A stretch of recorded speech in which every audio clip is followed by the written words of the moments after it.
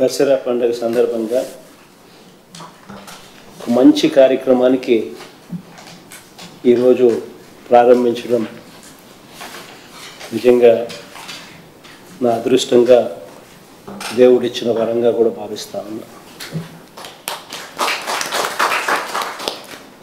Scheduled కులాలు schedule తెగలవారు కేవలం శ్రామికులుగానే ఉండే రోజులు పోవాలి. ఎవరికీ తీసుకోలేని విధంగా వీళ్ళు కూడా పారిశ్రామికులుగా పెద్ద పెద్ద పారిశ్రామికులుగా కూడా మారాలని మనసారా కోరుకుంటా ఉన్నాను. ఇంతవరకు బహుశా దేశంలో గురించి నాకైతే తెలియదు కానీ రాష్ట్రంలో ఎక్కడ ఎప్పుడు జరగని విధంగా ఇన్సెంటివ్స్ ఇంతకుముందు రవి చెప్పినట్టుగా కోటి రూపాయల దాకా ఇన్సెంటివ్స్ ఇస్తున్న పరిస్థితి ఎప్పుడూ లేదు. అది ఈరోజు మ్యానుఫ్యాక్చరింగ్ సెక్టర్కు కోటి రూపాయల దాకా కూడా ఇన్సెంటివ్స్ ఈరోజు ఇచ్చి ప్రోత్సహించే కార్యక్రమం దగ్గరుండి చేస్తా ఉన్నాం. అందులో భాగంగానే ఎస్సీల్లోను ఎస్టీల్లోను పారిశ్రామికవేత్తలను తయారు చేసే ఆంటర్ప్రీనియర్ డెవలప్మెంట్ ప్రోగ్రామ్స్ అని కొత్త కొత్త ప్రోగ్రామ్స్ని కూడా తీసుకొని రావడం కూడా జరుగుతూ ఉంది. దాని మీద కూడా సపరేట్గా ధ్యాస పెట్టి ఫోకస్ పెట్టి కూడా చూస్తూ ఉన్నారు.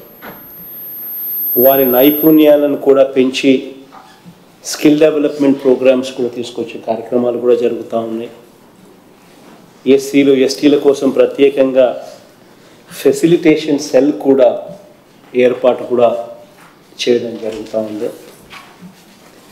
ఇవన్నీ కూడా ప్రభుత్వం చొరవ తీసుకొని చేస్తూ ఉన్న కార్యక్రమాలు.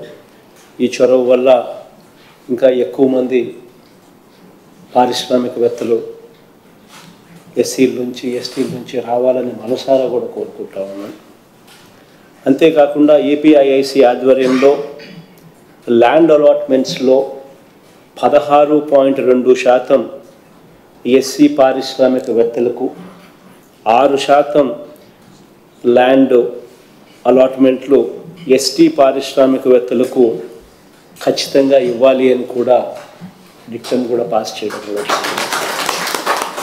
సో దీనివల్ల ఖచ్చితంగా ఎస్సీలకు ఎస్టీలకు ఇటువంటి పారిశ్రామికవేత్తలకు ఇంకా ఊతం వస్తుందని చెప్పి నేను గట్టిగా నమ్ముతా ఉన్నాను.